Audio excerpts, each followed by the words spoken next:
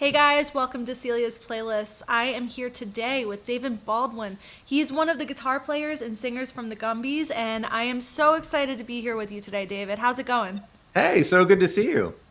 Thanks for Hi, having it's me. I, I'm I'm excited to have you. It's not like we were talking before we hopped on here. Like you Not know, at all.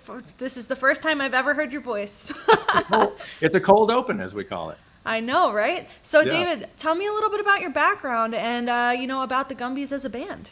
Yeah, so the Gumby's are uh, myself and my uh, writing partner, James Thompson, who lives in Colorado. I actually live in Raleigh, North Carolina.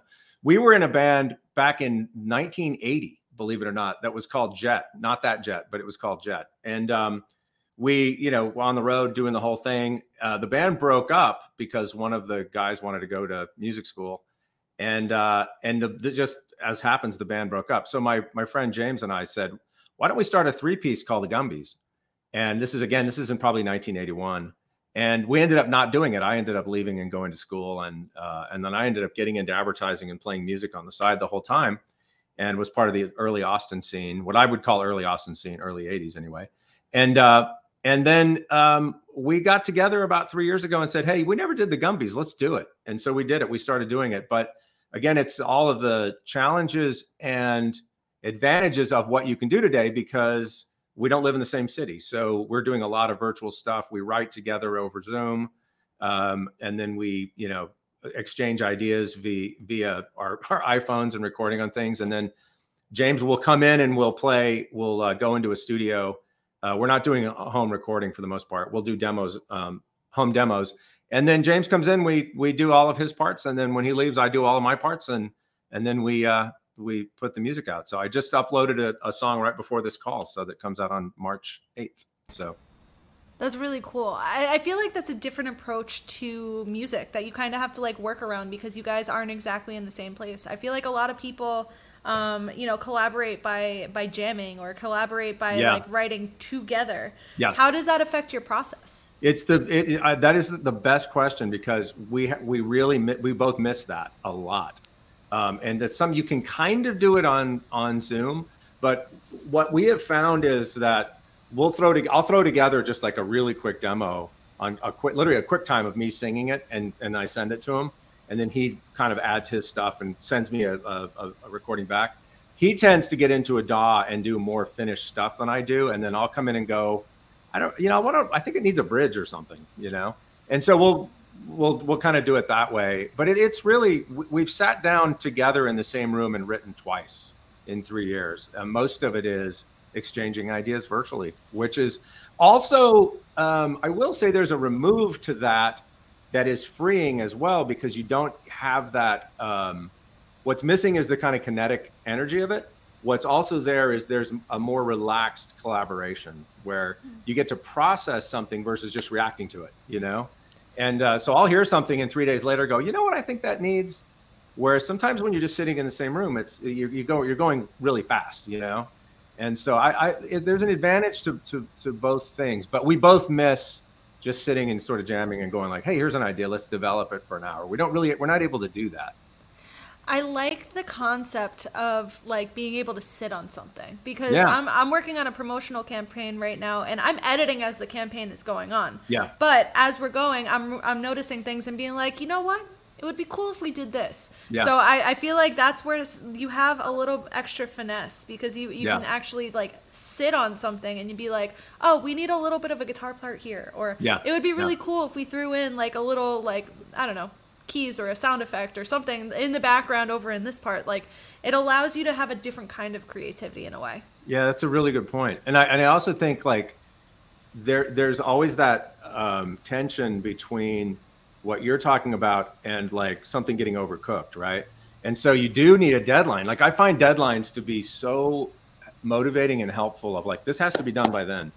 Because I think one of the things that I learned in my sort of advertising and design career is you've got to be you've got to learn to be done at a certain time and to be done means you have to have it done well right and so you have to you have to that's a muscle that you have to sort of build and and when you're when you don't ever have a deadline you, you don't have to build that muscle and so that's something that we're pretty comfortable with I feel like that immediacy, like not not from like having a dead, deadline, but like working towards something. Yeah.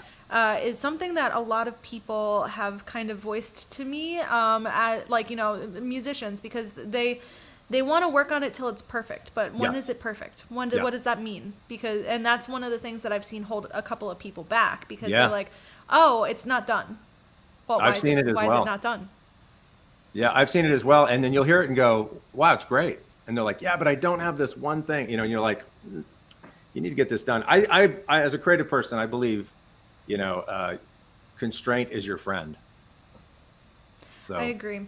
yeah. I feel like for me, like I, obviously I, I I'm in a whole different side of the creative field, but like you know, at, at first I would work until something was perfect, and now I had to Yeah. like fix my standard towards having like a different uh you know uh, idea of what perfection is. Yeah. Because if you're working towards perfect, you know, you're you're going to be looking at every single frame of every single video that you're ever Yeah. doing.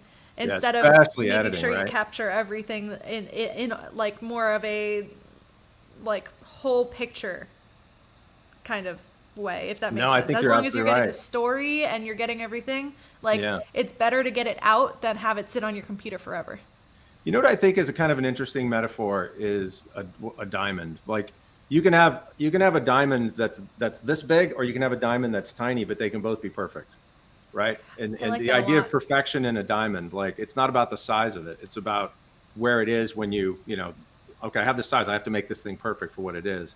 But it doesn't mean, and I think when you're talking about editing, man, you're talking about choices like, uh, and every choice you make affects every other choice you make.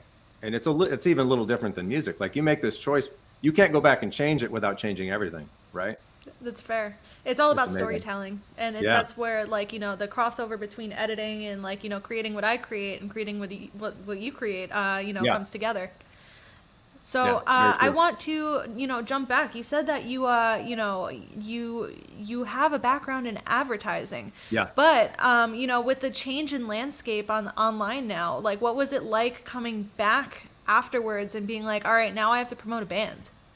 Well i think that you know I, I i feel like we're we've been together doing this for three years now. We're in our third year and i feel like we're still preparing sort of the brand. I keep i keep thinking of our, ourselves as a rock brand you know? Like and and so what what does that look like? And i'm using all the tools that i have and finding that wow i don't i don't actually um, i don't have all the questions answered that i need to answer. We're going to still keep putting music out and we have a lot of things that we're doing and, and doing out but i think where what we're missing is kind of the the the roadmap plan you know? And i'm and i i know how to do that. I mean that's something i know how to do but i was saying to you earlier like it's physician heal thyself. It's harder to do it for yourself than it is for somebody else right hundred percent. I have been working on my own brand and like I've jumped around so many times. People have seen me do different shows, different whatever, but I feel like I finally like for myself figured it out. Yeah. It's so much easier for someone to be like, here's the details and then me go, okay, all right, we got this. All right, so Yeah. it's this, this, this, this. And if you want to get here, these are your four steps to get there. Yeah. So I, I totally understand that. And it, Yeah. I feel like it's because there's so much in your head that you need to get out of your head to be able to Yeah. do that. You know what I mean? Like Yep. especially when it, when it's that close and uh, you know that personal of a project, it, it it could be a barrier between you even posting about anything. Yeah, yeah, absolutely.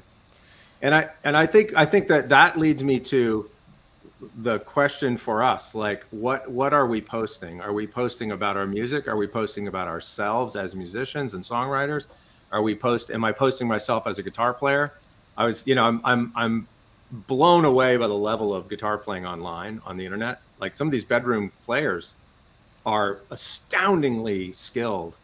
And i'm i'm not i'm not i mean i'm a good i'm a i'm what i'd call a decently good guitar player you know? But uh like it, it's there's so many questions of like well what do we what do we do? And you just want to show up authentically really Oh yeah. right? But that's those are the questions we're trying to figure out. And and then i, I will also say we're trying to figure out if we should even show ourselves as humans because we're both older guys we're both you know we're I feel like there's a lot of different directions that you need to do, uh, Yeah. not to do, but like to to take into consideration. Yeah. But you can also just figure out who the audience you want to play to is, Yeah. and then you know work backwards from there. Yeah. With that being said, though, I know that you have more of like a '70s, '80s sound. Like Yeah. you know. Yep. Uh, what yeah. what uh like I know that that was when you guys uh, first started kind of the Gumby's idea, but Yeah. um, what inspired you to continue that sound now? Well, I, you know, I am I am the I am what the opposite of a musical snob. Like I love everything. I really do. There's certain things I don't like, of course, but I mean, I just am not a snob about music, and um, I I've always just loved guitar based rock and roll. Really, I mean, it's really what it is. And so when I think about what I can add and what I'm good at, it's really that. You know, it's it's uh, it's it's doing guitar, you know, guitar based stuff. And my uh, fellow Gumbite, uh, Gumbyite James is the same. Like we're both, you know, he's a multi instrumentalist, so he he really makes everything tick. I mean, he's the one who he plays drums, he plays bass. He, you know, we we both we're two lead singer band, which is weird, you know. So depending on who's singing, we sound a little. We don't always sound like the same band, I think, but but we really love that kind of. Uh, mid 70s to mid 80s like that we're, we're always in there somewhere you know and we we put a song out last year called queen of california which it's so funny because we it's called queen of california and we put it out and went oh god there's a song by john mayer called queen of california so and uh, our engineer who we work with said hey there's a million heartbreakers out there so don't worry about it but um you know it, it's kind of like a country almost like a country rock song you know it almost sounds like it's a LA 1977 kind of country thing. So, and then sometimes it, we're a little more almost like on the kind of leaning into punk or or into cheap trick. There's a lot of colors to what we're doing, but it's very specifically like contained within an era, you know. I like that you have the diversity in there because it allows you room to grow as an artist as well. Yeah. Yeah. And I think that it's really interesting that you guys have multiple singers in this because I feel like people define like, you know, bands by like things that they expect to hear. And I Yeah. like that you're you're breaking the expectation but like in a, in a way that everyone's going to enjoy. You know what I mean? Yeah, totally. It's funny what what we what we say a lot is we want to feel both of the singers in every song, even if the other singers, even if, if James is singing something, we want to feel me in it, and vice versa. And so we work really hard to do that. I don't know if we're successful, but we work really hard to do that. So Well, I mean, you know, the the audience will have to tell us uh, how they how they sure. uh, how they notice that. Uh, Yeah, if you had to pick one song of yours that would uh, encapsulate your project as a whole, what song would that be?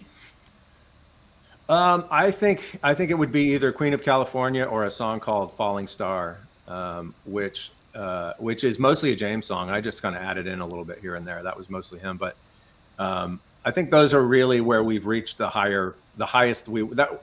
I feel like those songs we kind of hit what we were trying to hit. You know? I feel Yeah. ya. So, I have like this big question that I keep asking everyone, and Yeah. that question is: if if someone was starting to get into creating music now, what would be your advice to them? I I think don't worry about the outcome so much as the process, and don't get hung up on um, don't go, don't get hung up on the the sort of fame. I'm going to call it the word fame. I don't know what that means anymore, but the the sort of you know my my, I'll, my daughter is a is a songwriter in Los Angeles, and she's incredible. She's really good, and the stuff that she has to deal with compared to what I had to deal with when I was starting, which was put a band together, go out and play, try to get some renown through your shows and your recording and your you know live performance. You know, she has to be good at TikTok and she has to be good at all sorts of things. So her music is, is unassailably great. It's incredible. She's got a great voice and she's incredible. But um, I think you know you you I think authenticity is kind of the more important thing you should be aiming for. Is are you you, and how do you use you across all those platforms? That's what I would say. And that's the question we're wrestling with ourselves right now. I feel like that's an industry question right now. And Yeah. that's the thing that a lot of people are trying to figure out because it like everyone's trying to figure out, all right, well, I need to get this song out there, but now I'm a musician that needs to turn into a content creator. Yeah. Like, right, essentially. exactly right. So that's been something that I've noticed, and like you know, people have been coming to me like even before I was talking on the internet because they see that I was creating content because I was a content creator before I was like working in And you're in good all at of it. my You're, things. you're Thank quite you. good at it. Yeah. Uh, It's it's a lot of practice, and Yeah. uh, just like you know, practicing a song, you have to practice how you're going to carry yourself on the internet, and you're going to have to Yeah. practice like how to create. So, um, you know, it's it's it's an ever growing process being an artist of any kind, I guess. Yeah.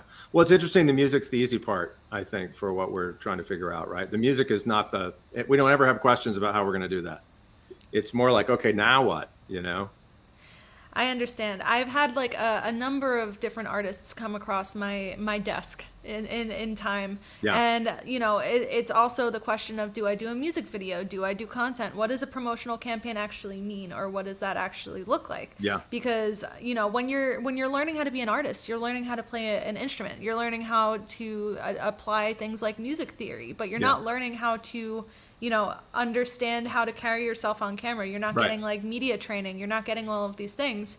And, um, you know, it, it's becoming more evident because it's becoming more of a deterrent for local artists and independent no. artists to make that jump because of the, the content. Yeah. And I think it's really hard to make money as a younger artist. It's very difficult to make a living um, doing it, I think. So that's a, and I think it always has been. I just think it's worse now.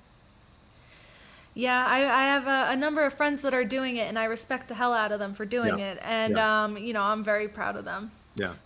But um, you know, we're coming towards the end of the interview, yeah. and uh, you know, David, where where can people find your music, and where can they find you guys? Yeah, so we're, we're on all the platforms, of course, but you know, go to Spotify and and type in the Gumby's, and uh, if you uh, you know uh, type in uh, uh, "Falling Star" the Gumby's, and you'll you'll get to us, and you can click on our artist. But we're on everything. We're on Tidal. We're on all the places. So awesome. I had such a good time with you on this interview. I wish that, like, you know, I scheduled more times. Those these would be longer interviews. But yeah. um, I appreciate you taking the time to sit down with me today, and um, I will be back on the next interview. So it was uh, great you. seeing the interview people. Uh, you know, thank you. It was a real everyone. pleasure to be here. Thank you. Thank you so much, David, and uh, I will be back on the next one. Bye, guys.